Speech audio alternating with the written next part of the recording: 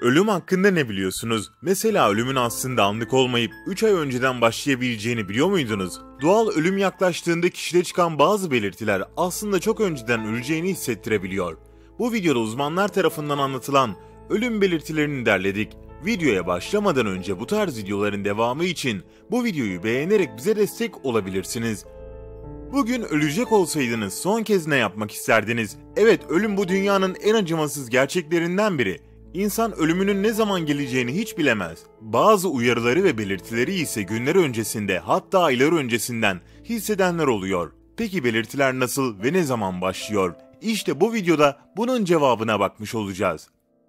Sevdiklerinizi bırakıp gitmek, yapmak istediklerinizi tamamlayamamak ya da bilinmeyene doğru bir yolculuk yapmak biraz ürkütücü gelebilir. Bu süreçte kişi ölümü kavrar ve kendi ölümüne inanarak zihinsel yolda bir keşfe başlar. Bazılarının varış noktasına ulaşması aylar sürebiliyor, bazılarına hiç ulaşmıyor. Ölüm her birey için özel, benzersiz, kişisel bir yolculuktur.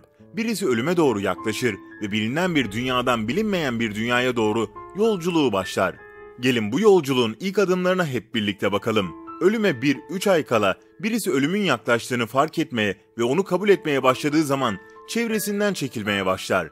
Dünyadan ve dünyanın içindekilerden ayrılma sürecini başlatır. Arkadaşlarının, komşularının ve hatta aile üyelerinin bile ziyaretini geri çevirebilir. Ziyaretleri kabul ettikleri zaman etkileşimde zorlanabilir ve bundan hoşlanmayabilirler. Kendi hayatları hakkında düşünüp taşınırlar ve anıları ziyaret edip dururlar nasıl bir hayat yaşadıklarını değerlendirebilir ve pişmanlıklarını düşünürler. Ölmek üzere olan kişilerin iştahı azalır, kilo verirler, beden yavaşlamaya başlar ve daha önce olduğu gibi yiyeceklerden enerji almaya gereksinim duymaz. Bir zamanlar çok keyif aldığı şeyler ona artık cazip gelmez. Tek istediği şey uyumaktır. Değişen vücut kimyası hafif bir his üretir. Onlar ne aç ne de susuzdur. Yemek yemediklerinde acı çekmezler ve bu başladıkları yolculuğun beklenen bir parçasıdır.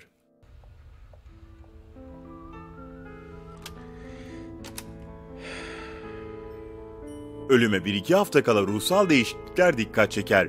Bu yolculuk sırasında kişiler genelde uyurlar. Kişilerde oryantasyon bozukluğu sık görülür ve algılar değişebilir. Kişi gizli düşman korkusu veya yenilme duygusu gibi hezeyanlar yaşayabilir. Halüsinasyonlar görebilir, bazen orada olmayan insanlarla konuşabilirler. Konuşulan kişi genelde ölmüş insanlar olur. Hayat ile gelecek arasındaki perde kalkmıştır. Kişide ajitasyon görülür hareketleri amaçsızdır ve diğerleri için hiçbir anlam ifade etmiyor olabilir. Çünkü gittikçe bu dünyadan uzaklaşıyorlardır. Vücutta daha zor bir şekilde kendini koruma altına alır. Vücutta bu süre zarfında bazı işaretler görülür. Dolaşım nedeniyle deride renk değişiklikleri olur. Soluk ve mavimsi bir renk hakimdir. Özellikle dudaklarda ve tırnak yataklarında daha belirgindir. Solunum değişiklikleri söz konusudur. Genellikle solunum daha hızlı ve yorucu haldedir. Tıkanıklık meydana gelebilir ve bu da öksürüğe yol açabilir konuşma azalır ve sonunda tamamen durur. Ve sonuna geliyoruz. Ölüme birkaç gün ya da birkaç saat kala kişi artık ölüme doğru yaklaşmaktadır. Ölüm yaklaştıkça enerji dalgası ortaya çıkabilir. Yataktan kalkıp yakınlarla konuşmak, iştahsız geçen günlerden sonra bir şeyler yemek isteyebilirler. Bu enerji dalgalanması kişiye göre değişiklik gösterse de ölen bir kişinin son fiziksel ifadeleri bunlardır. Nefes daha düzensiz ve genellikle daha yavaştır. Hızlı hızlı nefes almanın ardından nefes tamamen durabilir. Eller ve ayaklar morumsu ve lekeli olabilir. Bu benekler yavaş yavaş kollara ve bacaklara yayılabilir. Dudaklar ve tırnak yatakları mavimsi ya da mor olabilir. Kişi genellikle yanıt vermemeye başlar ve gözleri açık veya yarı açık olmakla beraber çevreyi göremezler. İnanışa göre bu anlarda ölmek üzere olan kişinin yanına sevdiği bir kişinin oturup onunla konuşması tavsiye edilir. Sonunda nefes tamamen sona erer, kalp durur ve ölüm artık meydana gelmiştir. Böylelikle doğal bir şekilde bir insanın ölümü gerçekleşmiş olur. Videonun sonuna geldik. Video hakkında görüşlerinizi yorumlarda yazabilirsiniz. Sizlere bir soru. Yakında öleceğini bilsen yapacağın ilk şey ne olurdu? Yorumlarda yazabilirsiniz. Bir başka videoda görüşmek üzere. Şimdilik hoşçakalın.